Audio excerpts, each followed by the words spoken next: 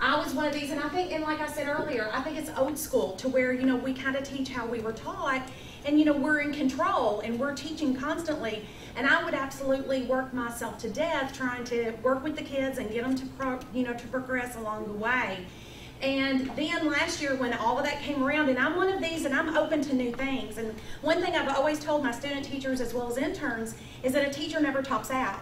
If you feel like you've topped out, it's time for you to get out of the business. Okay. Because a teacher never, ever, ever tops out. So I'm open for change. So last year when we got into and we were doing the fouls, and I'm like, okay, I'm gonna have the kids conversing, I'm gonna have the kids thinking more.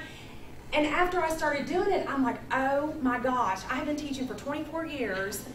Why haven't I done this? You know, and like some, some others have said, why didn't I do this years ago? Because my life is so much easier. And uh, and actually last year, um, you know, going to this and sharing, and which my entire school and all the math teachers doing the fouls, uh, we saw a huge improvement. And I really do believe that that's part of the reason why our test scores in math, you know, improved so much.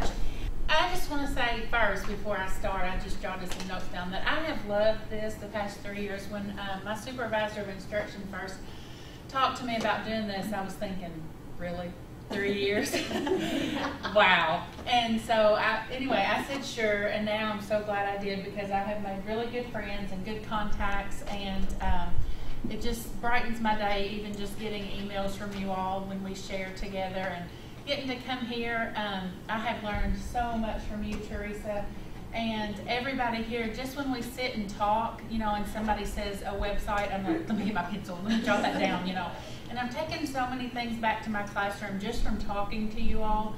So I just wanted to say, you know, thank you for being so willing to share. And um, it, I don't feel like we're competitive here. I feel like we're just all in this together, trying to work together and help our kids. And I think that's what it's in our building anyway. to do uh, the literacy learning workshops, uh, the thinking strategies, and wow, I was amazed by how those strategies and what I was learning here were just going hand in hand, and it's just become natural. Uh, the thinking strategies poster that's on my board, I can point to each day, and I feel like it goes with uh, CHETL and with all of the other uh, resources that we've gotten here. The networking. There's hardly a week that goes by that part of us in the group don't email each other. Where are you at on your pacing guide? How are you teaching this? How are you teaching that? Do you have a resource for this? Do you have a resource for that? This has helped me learn uh, that all of us throughout the state are in the same boat because there is a big rivalry between Edmonson County and Grayson County. and I'm working a lot now with Edmonson County. and it's really become apparent to me that we all need to really want the same thing for all the kids around here. Not just the kids in our own classroom, but the kids in our school, our district, throughout the whole state. Because my Hallie and my Oh, uh, it goes back to what some of you said. I was always one of those that had control. The kids were sitting in their seats. You know, we did group work, but not not really that often. And uh, if they did struggle, I felt like, oh my gosh, I haven't taught them something. It's my fault. You know, what am I going to do? Um, now it's like I want to see. I, I like that, and I tell them they know this term, productive struggle.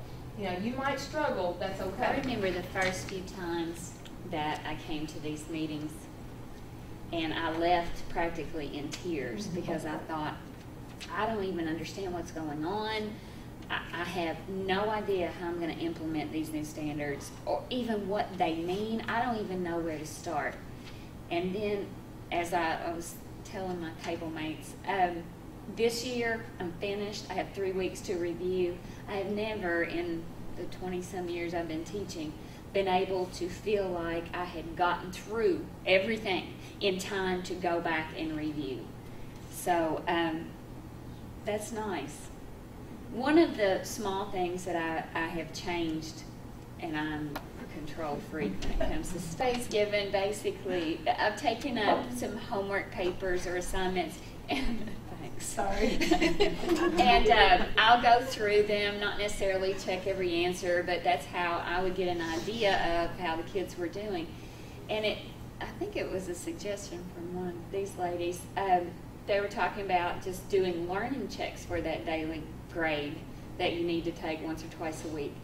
And I started that, and I, I'm like, oh my gosh, why have I been torturing myself and them to go through all these homework papers, these stacks that I take home, when I can find out the same information, I can get it back to them quick, so I know in a timely manner, they know in a timely manner, manner, what, you know, where are we and who needs what. So that's that's been a biggie for me. Even my principal was like, "Oh my gosh, you did something that radical. I'm impressed." Uh, and and the the last thing that that I want to talk about is anyone else sick of all these other states that are just implementing the implementing these new standards whining? Get you know just get a grip go with it get over it and let's all be on the same page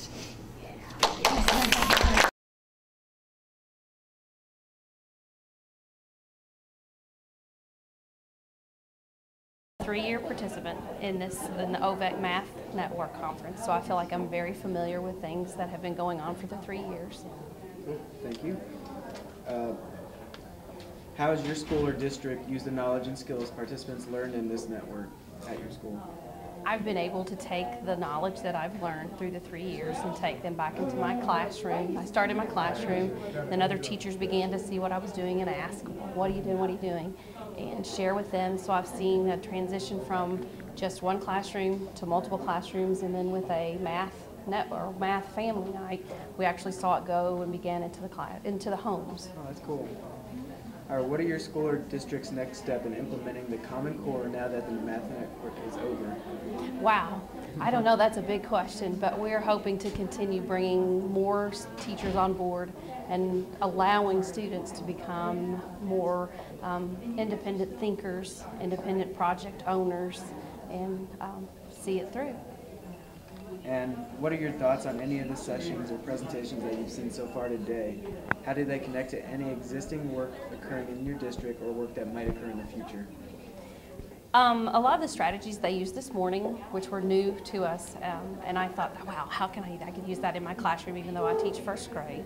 I've seen one presenter and he was talking about the foul lessons and just a reminder of how we can use that in our own classrooms to make better decisions, better instruction for students. Um, from this network, one of the things that I know now is that my influence needs to go just beyond my classroom door. A lot of times, I've been I've been a participant for three years, and I get a lot of cool strategies and things like that. And I'm there to help other teachers, but I don't really push to make sure that things happen beyond my classroom. What impact has this network made in your own classroom practice? Um, I guess I'm kind of like when I come to these, I'm a guinea pig. I get to try out all the different strategies, and some of them fail, some of them work. But as I'm trying them out, then I get better at them, and that ma- makes me become a better teacher leader, so that I can take what I've learned through my practice and help other people get better as well. What impact has this network made on your leadership skills? It's really pushed me to, to actually become a teacher leader. I, I guess I was comfortable in staying behind my own door. And if people wanted help and came to me, I was more than happy to help them with some of the skills that I've been practicing.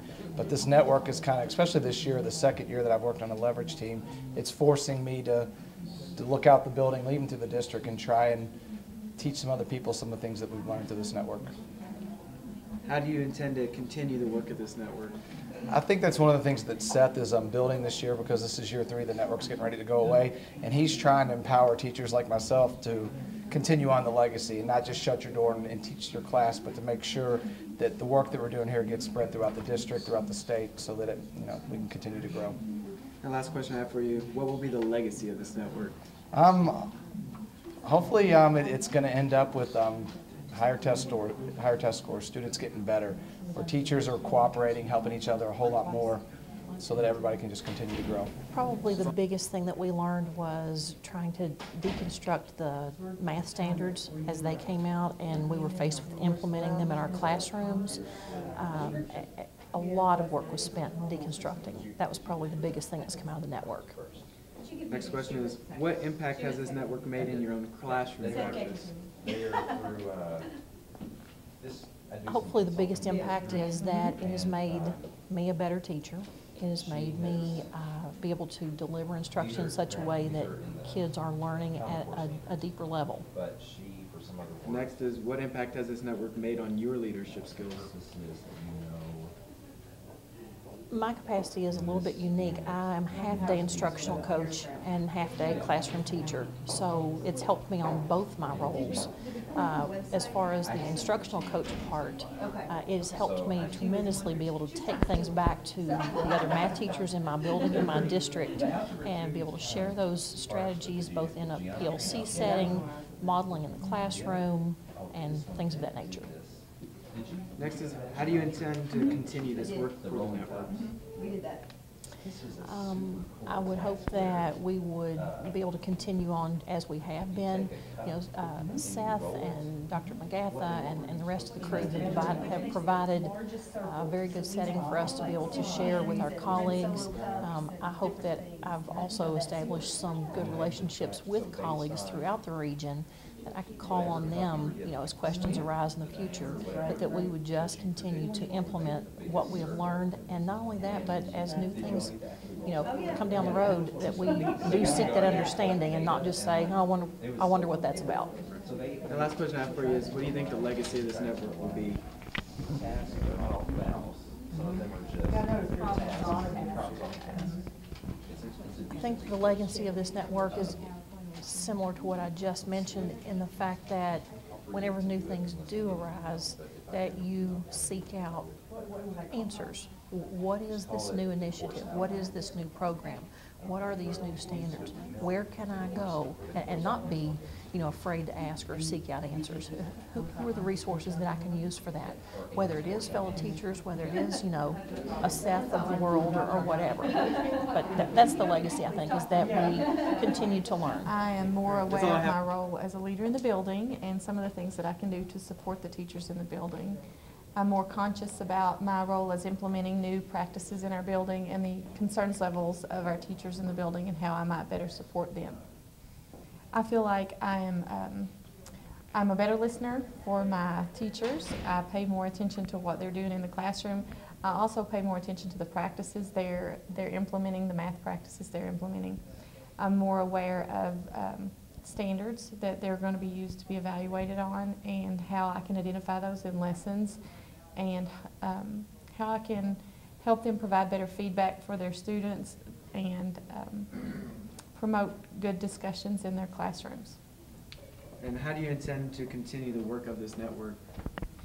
I will be using lots of the strategies that we learned about formative assessment. I'll be using lots of the, um, when I provide PD for my teachers, I'll be using lots of the strategies and especially CBAM, the concerns-based adoption model, to be more aware of what the teachers are thinking and feeling as we move through PD sessions and implement new programs. The last question I have for you is, what will be the legacy of this network? Legacy of this network.